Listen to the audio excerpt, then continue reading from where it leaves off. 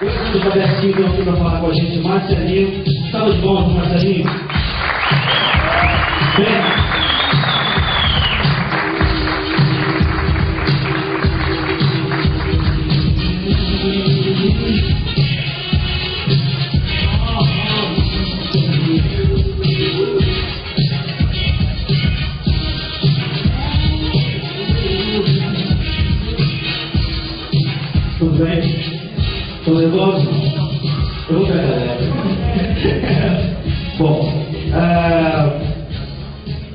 queria que você, no caso do Marcelinho, falasse como você iniciou na dança, não precisa ser do break, mas na dança de modo geral, como você se iniciou na dança, se foi antes do break ou se foi quando o break chegou no Brasil.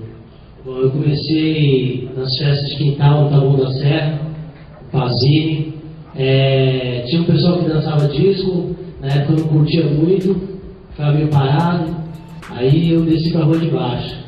Aí os caras estavam escutando James Brown. Aquilo eu não esqueço até hoje. Os caras começaram a dançar e eu fui nessa também, comecei a fazer surf, essas coisas, skate, descendo, brincando. E aí foi esse foi o começo, você revelar a sua idade na época, eu vi. Ah, tinha uns 12, 13 anos. Você não sabe qual foi o ano, então. qual foi o ano? Tinha 12 na época. E demorou muito da que você começou a dançar para você descobrir o breaking e como, como foi que isso aconteceu? É, antes a gente fez alguns grupos lá na, na rua, né? De funk, mas mais pra paquerar mesmo, pra tirar uma onda, né? não, não tinha nada muito sério. E em 83, 82 a gente viu o, o vídeo do Chique, Egan, que parecia um garoto dançando pop. Meu, aquilo foi o primeiro, primeira coisa que a gente viu, assim, né? E aí em 83 aí começou a ver aquela enxurrada de clipes e tal, documentários. De- Depois que isso aconteceu, essa coisa da que a mídia trouxe filme, videoclipe, então essa enxurrada de coisas, demorou muito tempo para a Backspin ter início, você teve um grupo antes, como é que foi? Então, tive um grupo lá na, no Basile, que era o Furious Breakers, que o Janeiro participava junto comigo, meu primo, o Brino, o Dante, todo mundo rapaziada que era da área ali mesmo. Só que em 84 todo mundo sabe, né? Foi aquela modinha.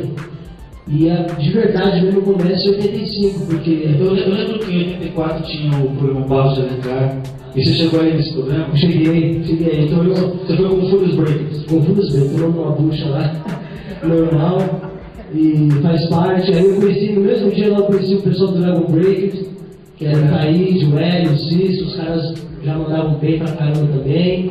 E tinha outros grupos, Cobra, tinha vários grupos na, na época ali.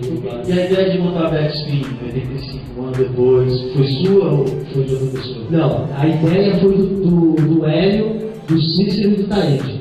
Porque na verdade eles já estavam cansados daquela formação e eles queriam um grupo maior, porque na época a ideia era batalha na rua. Não tinha esse lance de campeonato, prêmio. Era simplesmente chegar com um box, um visual e batalhar.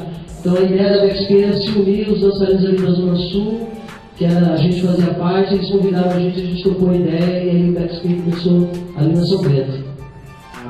E, e nessa a da São Bento tinha Backspin, quais eram os outros grupos que frequentavam logo no início? Bom, tinha o Fantastic Force, que era o pessoal de Guarulhos. Só para ter esclarecer, quando a gente fala São Bento, a gente é tão íntimo que a gente esquece de falar que é a estação São Bento do metrô. A gente fala São Bento, São Bento pode ser um bairro, pode ser. A gente é tão íntimo que esquece de citar que é o- a estação do metrô. E que eram os quais outros grupos que frequentavam? Então, bom, tinha o Fantastic Force, tinha Chris Crew, tinha a Nação Zulu, tinha Street Warriors, e além disso, o João Blake e o LZ foram os caras que tiveram a ideia de ir pro metrô São Bento. Porque nessa época, quem, quem curtia lá na São Bento, quem ficava na São Bento antes dos b-boys, eram os punk. E foi, teve um confronto que eu não fiz parte, mas o João conta essa história quando a gente chegou lá, porque estava ele e o irmão dele eles enfrentaram os caras. Mas, tipo assim, não, não deu em nada, entendeu? Os caras entenderam o propósito, depois até alguns começaram a ir na São Bento, curtir com a gente, ver o movimento, foi muito legal isso daí. Naquela época, você imaginava ou idealizava que ia chegar que chegou hoje depois, agora, 20 anos depois? Pois é, é o que eu sempre falo, mano. Toda, tudo que acontece hoje, esse, isso que está acontecendo aqui, todas as coisas legais que, que tem vindo, os caras originais da dança quando vem, eu acho assim, tudo isso no máximo, porque na época muita, muitos de nós achavam que aquilo ali era só pra gente, porque ninguém tava, parecia, que, parecia que ninguém estava tudo muito diferente do que estava acontecendo na São Bento. Né? E o hip hop não é o. Hoje o hip hop está em todos os lugares. Mas não, para nós só estava na São Bento, a gente não, a gente lutava por isso. Mas não, Não tinha ideia. não tinha ideia que ia chegar nessa. Falando rapidinho sobre aquela coisa do Taíde, do, do que o Taíde e o DJ tiveram na época. Quando eles fizeram o disco, o que mudou pra XP? Bom, primeiro que a proposta. Né, Então você perdeu o tudo. É, ele- é, praticamente ele deixou de dançar, virou músico. E a gente, eu e o Fernando escrevemos muito. Não, é isso que eu falar. Eu, eu tenho os discos do Taíde, dos primeiros, que tem muito lá, Marcelinho, XP como letrista, era você. É, eu e o Fernando e, e ele que a gente escrevia as letras, né? E ele chamava a gente para cantar, vamos cantar, falava, o negócio é dançar, eu quero dançar.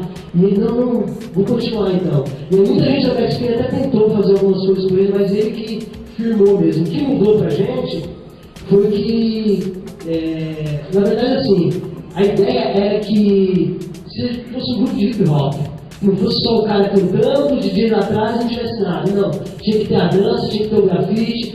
A gente, por quê? A nossa ideia era divulgar o hip hop, não só divulgar a música que o Thaís estava fazendo. Então isso funcionou porque a gente foi para Goiânia, lá a gente conheceu o, pessoal de Goiânia, o, o, na verdade Brasília, conheceu o pessoal de Goiânia que foi para lá e a gente percebeu que tinha vários polos de resistência da dança em vários lugares, né, em Minas e lá. Então foi aí que a gente começou a sacar que não tinha só gente na São Bento. Isso foi, isso foi importante. Eu queria falar que você falasse rapidinho sobre as batalhas que a Backspin teve. Porque eu me lembro do, do documentário No Cipuma, que passou na cultura, que, para quem conhece, No Cipuma foi um documentário que passou em 87 na cultura, e de uma certa maneira foi o nosso Beat Street. Né? Porque para muita gente, tipo eu e pessoas que estavam pelo resto do país que não viviam na São Bento, percebeu que tinha um lugar e tinha gente fazendo também. Então aquilo foi um incentivo para quem estava fora da cidade de São Paulo. Eu lembro que tinha uma rixa que no, no, no filme, né, no documentário, era vocês contra a. que era a Zulu, a Nação É, Zulu, contra a Nação Zulu. que vocês batalhavam. Essa rixa era real na vida da São Bento ou aquilo foi só uma encenação? Com a Nação Zulu foi uma encenação, só que é, teve uma batalha de fundo ali que foi real, que não apareceu no- na edição. Coisa de bastidores. É, que foi contra a Crazy Crew. Porque, na verdade, a- isso nem- pouca gente sabe disso, é, a Crazy Crew foi a, a maior rival da Lexp. Onde a gente se trombava, eu me lembro que uma vez eu estava com este Breaking 1 no, no cinema aqui na Augusta, que tudo que passava depois daquela da febre, a gente ia atrás para ver de novo, porque a gente não tinha videocassete. Não tinha como estudar os movimentos, não tinha. Não é como hoje que tem as coisas fáceis, né? No YouTube. É, tá tudo lá. Então a gente foi, eu entrei no, no cinema junto, eu, o Jané e mais uma Miguel na X-Pin, a Celina. E aí quando a gente estava saindo, a gente assistiu o filme, quando a gente estava saindo, o pessoal da, da Crew estava chegando.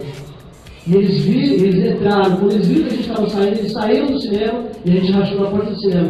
Então, porra, aquilo, sabe, era coisa de momento. E aí, eu estava indo para um encontro, que era o encontro da Backspin em Moema, que é onde o DJ tocava.